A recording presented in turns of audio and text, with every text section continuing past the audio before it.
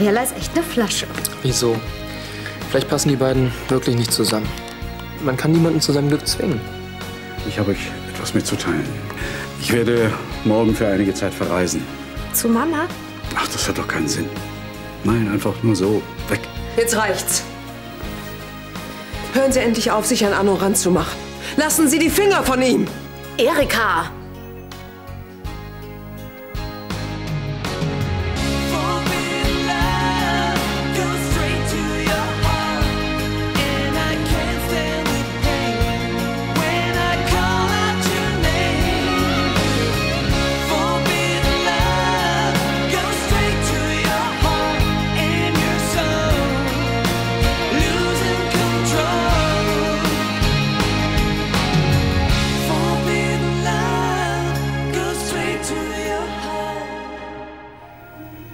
Ich habe das nicht so gemeint.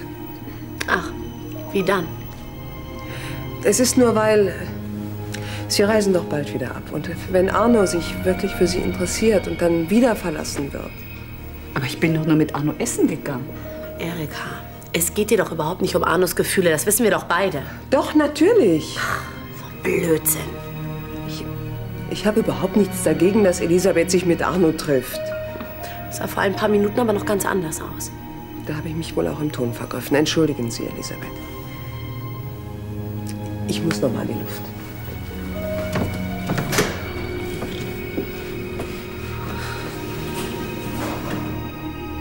Kathi, es sind doch nur ein paar Wochen.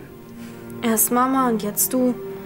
Bald bin ich ganz alleine hier. Ach, das ist doch Quatsch. Du kannst jeden Tag in ein anderes Zimmer, du kannst Partys feiern, so viel du willst. Ja, mach dich ruhig lustig über mich. Ich will dich nur ein bisschen aufmuntern. Hm? Schon gut. Ich brauche Zeit zum Nachdenken. Und ganz allein bist du schließlich auch nicht. Caroline und ich sind auch noch da. Aber ihr wollt doch bestimmt bald eure Hochzeitsreise machen. Aber erst nach der kirchlichen Trauung. Und wir können jeden Tag etwas unternehmen. Einkaufen, Kino und so weiter. Siehst du, es ist alles halb so schlimm. Und vor Clarissa brauchst du auch keine Angst zu haben. Herr Roloff und ich werden dafür sorgen, dass Clarissa dich in Frieden lässt. Sie wird dir nicht zu nahe kommen. Clarissa wird dich nicht mehr belästigen. Sie hat kein Motiv mehr. Barbara und ich sind weg. Die beiden hätten wenigstens anrufen können, wenn sie schon nicht kommen. Ja, nochmal laden wir die beiden nicht zusammen ein. Nee, bestimmt nicht. Tja, damit ist unsere Verkupplungsaktion wohl beendet.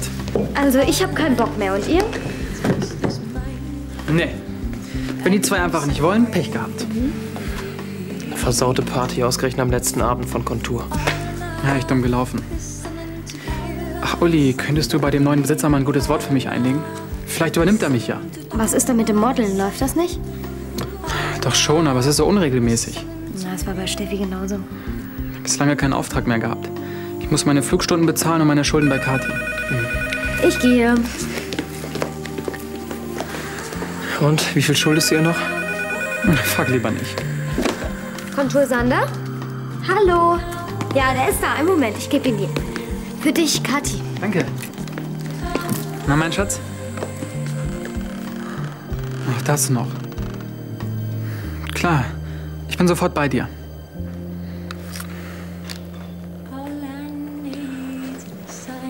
Ihr Stiefvater wird für einige Wochen Friedenau verlassen. Jetzt fühlt sich Kathi bestimmt noch mehr allein gelassen. Ihr seid nicht sauer, wenn ich jetzt fahre, oder? Nein, natürlich nicht. Wenn sich was mit deinem Job ergibt, dann rufst du mich an? Klar, mach ich. Tschüss. Tschüss. Ciao. Tja, und tschüss Kontur. Bereust du es jetzt doch, dass du ihn verkauft hast? Nee, ich werde was anderes finden, was mir Spaß macht.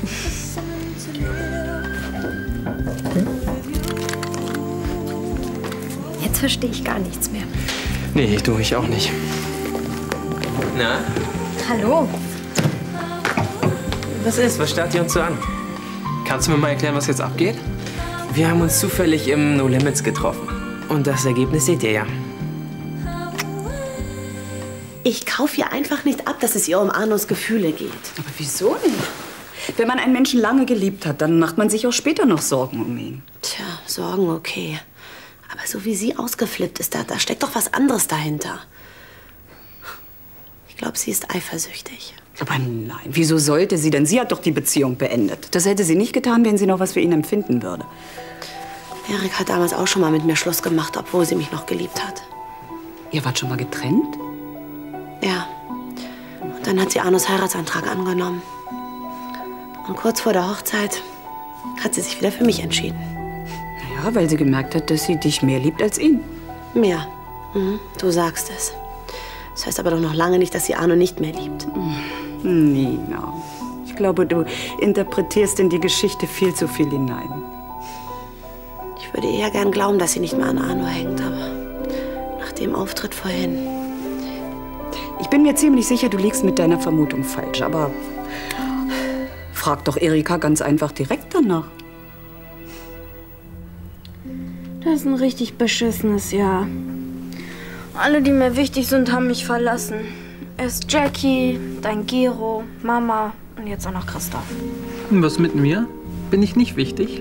Doch, du bist ja überhaupt der Allerwichtigste. Mhm.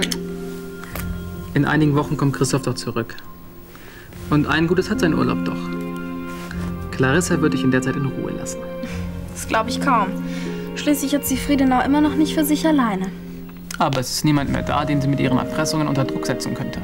Trotzdem, dass Clarissa alleine in ihrer Suite hockt und gegen niemanden intrigiert, das wäre sozusagen eine Premiere. Ja, irgendwem wird das Leben schon schwer machen. Hauptsache nicht mehr dir.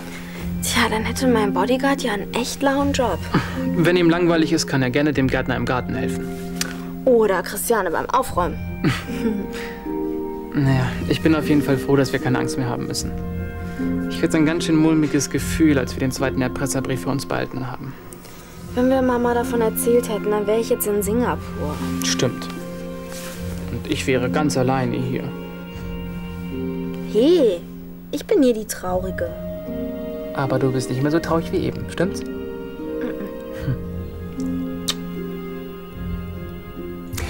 Ich wäre dafür, dass wir in den Club gehen. Ja, okay. Was ist mit dir? Ja. Willi? Ja, klar. Ich muss Gabriela nur noch ein abgefahrenes Oberteil zeigen. Komm mal mit. Und, wo wollen wir hin? In der Altstadt hat ein neuer Club aufgemacht. Guter DJ? Ja, ziemlich cooler Typ aus L.A. Gucken wir uns die Party mal an. Was ist los? Nichts. Seit ihr hier aufgetaucht seid, hast du kein Wort gesagt. Und besonders glücklich siehst du auch nicht aus. Also? Ich bin glücklich, aber... Aber? Ich weiß immer noch nicht, ob ich Daniel vertrauen kann. Was ist, wenn er beim nächsten Streit wieder mit einer anderen ins Bett geht? Jetzt mach dir doch nicht immer so einen Kopf. Millie, das kannst du mir tausendmal sagen. Ich kann ihm immer noch nicht vertrauen. Dann verstehe ich nicht, wieso du wieder was mit ihm anfängst. Ich bin eben in ihn verliebt. Dann hör auf, Probleme zu sehen, wo keine sind. Freu dich lieber, dass zwischen euch wieder alles okay ist. Oktober in Bonn. Ich bring dich noch schnell zur Tür.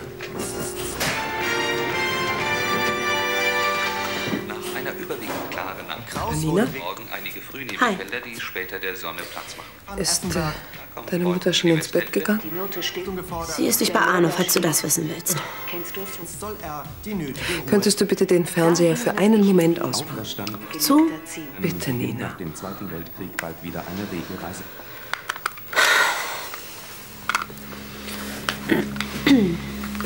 Ich weiß selber nicht, was eben los war. Dafür ich umso besser. Du bist eifersüchtig auf Mom. Nein, wie kommst du drauf? Elisabeth kann sich so oft mit Arno treffen, wie sie will. Das ist mir egal. Ich liebe dich. Das sagst du doch nur, um mich zu beruhigen. Nein, das sage ich, weil es die Wahrheit ist. Ach, du lügst mich doch an. Das war doch offensichtlich, dass du eifersüchtig auf sie bist. Das stimmt nicht. Ich kann mir selbst nicht erklären, warum ich sie so angefahren habe. Aber eins ist sicher. Für Arno empfinde ich nichts mehr. Wenn doch, tu mir bitte den Gefallen und entscheide dich schnell für ihn. Das ewige Hin und Her wie damals, das mache ich nicht noch einmal mit. Nina, ich liebe doch nur dich. Oh, tut mir leid, aber da habe ich im Moment so meine Zweifel. Ich gehe jetzt ins Bett. Und zwar in eines der Gästezimmer.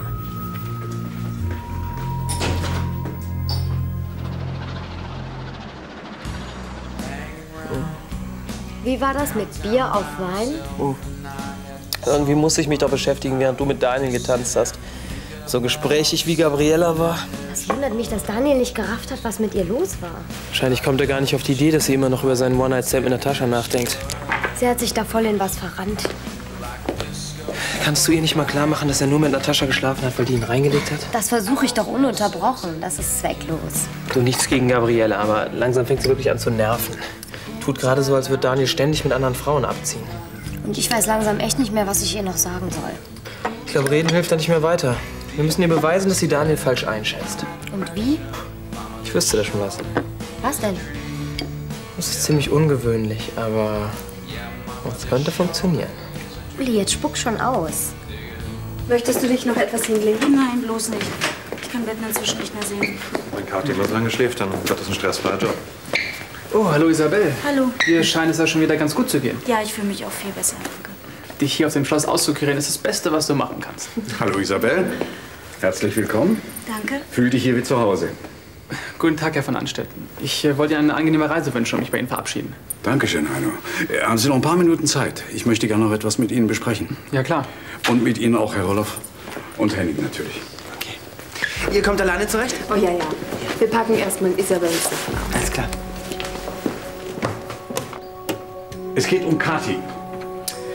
Ich hoffe, ich kann mich darauf verlassen, dass in meiner Abwesenheit alles Erforderliche für Sie getan wird. Sie waren doch überzeugt, dass während Ihrer Abwesenheit keine Gefahr für Kathi besteht. Trotzdem, Kathi muss rund um die Uhr beschützt werden. Selbstverständlich. Ihr wird nichts passieren. Danke, Heino. Ich freue mich, dass Kathi so einen verantwortungsbewussten Freund hat. Trotzdem muss ich Sie darum bitten, nichts mit Kathi zu unternehmen, was Sie nicht vorher mit Herrn Roloff abgestimmt haben. Ja, das geht klar. Henning vertritt mich in allen Belangen. Wenn Sie also irgendwelche Probleme haben, wenden Sie sich an ihn. In Ordnung. Ja, damit wäre alles geklärt. So, und jetzt werde ich Clarissa einen Besuch abstatten. Bis später. Ciao. Ich bin mal gespannt, was Gabriela von unserem Plan hält. Was für ein Plan? Millie wird dir alles erklären. Ciao. Ciao. Also, was für ein Plan? Jetzt komm doch erst mal rein.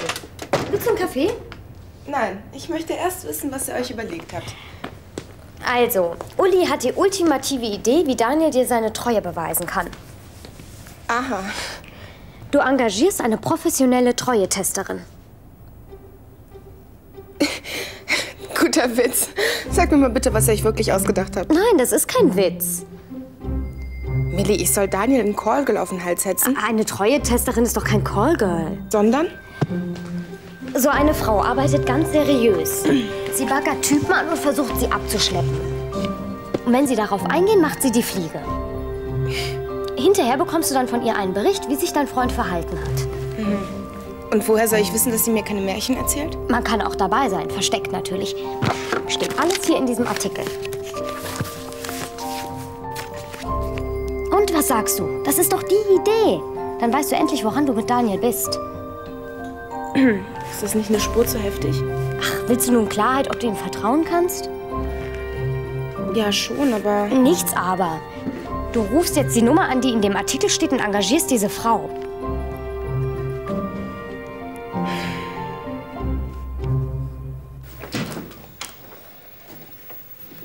Guten Morgen. Guten Morgen. Ist denn Nina schon im No Limits? Ja. Frühstücken Sie mit mir? Gern. Ich wollte mich auch noch mal für mein unmögliches Verhalten gestern Abend entschuldigen. Erika, ich möchte hier keinen Unfrieden stiften. Wenn Sie das nicht gerne sehen, dass ich mich mit Arno treffe, dann werden wir eine Lösung finden. Das ist Unsinn. Sie können sich natürlich mit Arno treffen, so oft Sie wollen. Und ich verspreche, sowas wie gestern Abend kommt nicht mehr vor. Okay. Von mir aus ist die Sache erledigt. Ich wünschte, Nina würde auch so denken. Ja, ihre Äußerungen haben Sie ziemlich verletzt. Mhm. Sie denkt, ich bin eifersüchtig. Und, sind Sie's? Na, überhaupt nicht. Aber sie glaubt mir nicht. Nina hat mir erzählt, wie schwierig ihre Beziehung verlaufen ist. Ich denke, sie hat ganz einfach Angst, dass sich das wiederholt, dass sie wieder verlassen wird. Ich liebe sie. Und ich möchte für immer mit ihr zusammenbleiben. Mich müssen Sie nicht überzeugen. Guten Morgen, Clarissa. Das verschafft mir das seltene Vergnügen. Das weißt du nicht? Nein. Ohne Gregor Steinfeld bist du wohl aufgeschmissen. Komm zur Sache, ich habe viel zu tun. Ich wollte dir nur mitteilen, dass ich Friede noch verlassen werde. Wie schade. Ich werde dich vermissen. Die paar Wochen wirst du auch ohne mich überstehen. Sagtest du Wochen? Mhm. Ja, ich fahre nur in den Urlaub. Gönn dir doch eine längere Auszeit. Ich warne dich, Clarissa. Wenn du Kathi während meiner Abwesenheit auch nur ein Haar krümmst, wird dich das teuer zu stehen kommen. Zum letzten Mal, ich habe mit dieser lächerlichen Erpressung nicht das Geringste zu tun. Der Polizei kannst du vielleicht was vormachen, aber nicht mir. Deine durchgedrehte Frau ist mir mit ihren Anschuldigungen schon genug auf die Nerven gegangen. Also jetzt fang du nicht auch noch an. Ich gehe davon aus, dass wir uns verstanden haben. Ob das glaubst du denn nicht? Ich erpresse Kathi nicht. Das ist auch besser so. Für dich. Wolltest du nicht wegfahren? Mhm. Ich hoffe, dass sich bis zu meiner Rückkehr hier einiges verändert hat. Das hoffe ich allerdings auch. Wie ihr wollt. Ich kann ihn direkt anbaggern oder auf schüchtern machen. Das funktioniert allerdings nur, wenn er ein Typ ist, der gern erobert wird. Also am besten, du ziehst alle deine Register, oder? Hm. Kein Problem. Brauchst du noch irgendwelche Infos über Daniel?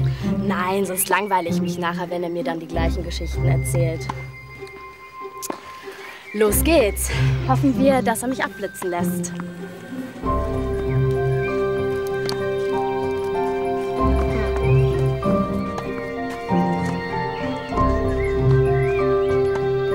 Die sieht echt gut aus. Ja, sonst könnten wir uns den Test wahrscheinlich sparen. Millie, sollen wir sie nicht zurückholen? Die Nummer ist echt ein bisschen link. Jetzt wird kein Rückzieher gemacht. Und was ist, wenn er drauf reinfällt? Das wird er nicht. Tja, hoffentlich. Hi. Hallo. Hast du Lust, mir auch eine Stunde zu geben?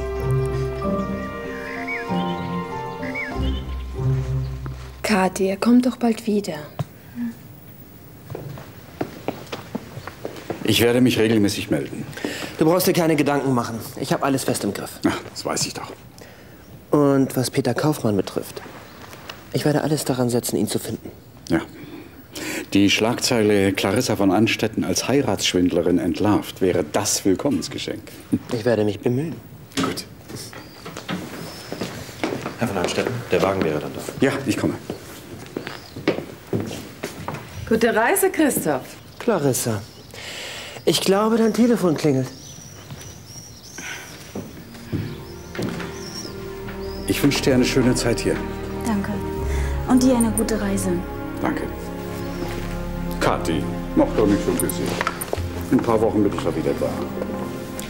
Schreibst du mir von überall eine Postkarte? Versprochen. Okay, dann viel Spaß. Ja. Und halte dich bitte an die Anweisungen von Herrn Roloff. Es geht um deine eigene Sicherheit. Mach ich. Gut. Tschüss. Tschüss. Auf Wiedersehen, Caroline. Wiedersehen. Ja, gut.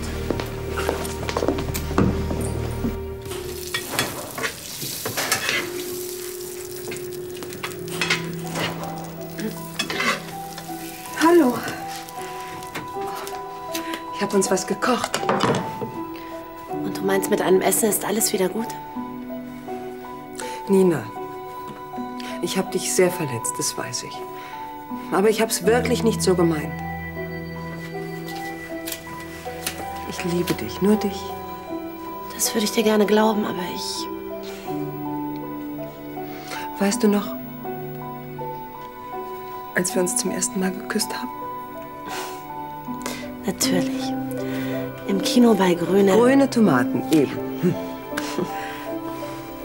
Ich liebe dich noch genauso wie damals. Wie an unserem ersten Tag. An dem Tag hast du doch auch Arno geliebt. Aber jetzt nicht mehr. Das gestern war echt ein Schock für mich. Ich kann nicht einfach so tun, als wäre nichts gewesen. Gott, was soll ich denn machen, damit du mir glaubst? Gut, wenn du nicht mehr mit mir essen willst. Doch. ähm, Das mit den grünen Tomaten ist echt süß. Kalt schmecken sie nicht, oder? Stimmt. Setz dich schon mal hin. Ähm, möchtest du Wein? Ja, gern.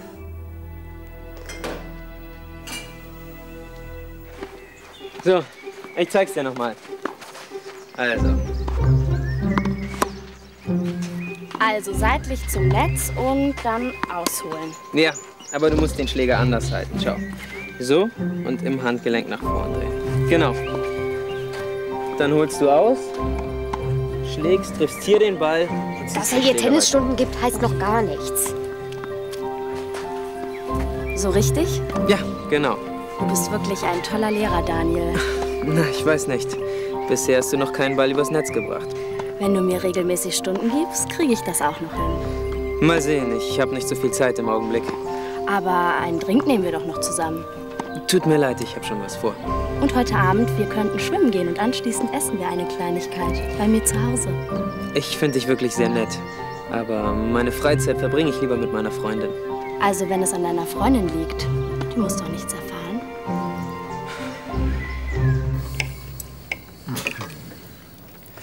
Wie wär's, wenn wir nachher eine Runde ausreiten gehen? Von mir aus? Wir können auch was anderes machen, wenn du willst. Nee, reiten ist schon okay. Wie ist das? Kommst du dann mit oder können wir mal alleine? Ich komm besser mit. Es ist unglaublich. Dieses Schloss ist einfach nicht leer zu kriegen. Würdest du uns bitte in Ruhe lassen? Die Tür ist hinter dir. Wo bleibt deine gute Erziehung? Du hast mir deine Gäste noch gar nicht vorgestellt. Glaubst du wirklich, dass hier irgendjemand Wert auf deine nähere Bekanntschaft legt? Das lass die junge Dame doch besser selbst entscheiden. Ich bin Gräfin von Anstetten. Die Gräfin von Anstetten. Wie darf ich Sie ansprechen? Wie ich höre, sind Sie die Schwester unserer Künstlerin?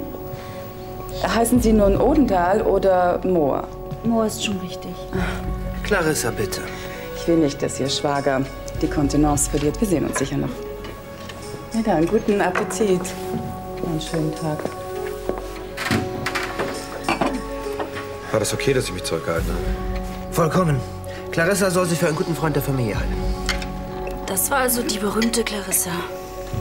Nach dem, was du mir erzählt hast, hätte ich nicht gedacht, dass sie mich so freundlich begrüßt. Ja, am Anfang tut sie immer so freundlich. Aber lass dich bloß nicht täuschen. Clarissa ist die hinterhältigste Person, die mir je begegnet ist. Geh bitte aus dem Weg. Das Schloss ist so groß, da werde ich ihr mit Sicherheit nicht oft begegnen. Tja, leider läuft sie uns häufiger über den Weg, als uns allen lieb ist. Und dann läuft es immer so ab? Ja, meistens. Ziemlich anstrengend, was? Das kann man wohl sagen. Aber wenn wir uns alle nicht provozieren lassen, wird sie irgendwann die Lust an diesem Theater verlieren. Am besten, wir ignorieren sie einfach. Ich denke, wir können machen, was wir wollen. Clarissa wird uns nie in Ruhe lassen. Mich hat noch nie ein Typ so abblitzen lassen. Sogar als ich ihn direkt angebaggert habe, hat er die Flucht ergriffen. Wahrscheinlich hat er die Tür zur Dusche verrammelt, damit ich ihn nicht belästige. Möglicherweise bist du einfach nicht sein Typ. Nein, er hätte jede abblitzen lassen. Egal ob blond oder dunkelhaarig, dick oder dünn. Sicher. Ich mache den Job jetzt schon seit zwei Jahren. Mittlerweile erkenne ich Casanovas an der Art, wie sie Hallo sagen. Dein Daniel ist einer von der treuen Sorte. Da brauchst du dir überhaupt keine Sorgen zu machen. Glaubst du es jetzt endlich? Ja, ich habe mich wohl getäuscht. Wie ist es eigentlich mit dem Geld? Meine Agentur schickt eine Rechnung. Habe ich das richtig verstanden? Du hast diese Frau engagiert, um meine Treue zu testen.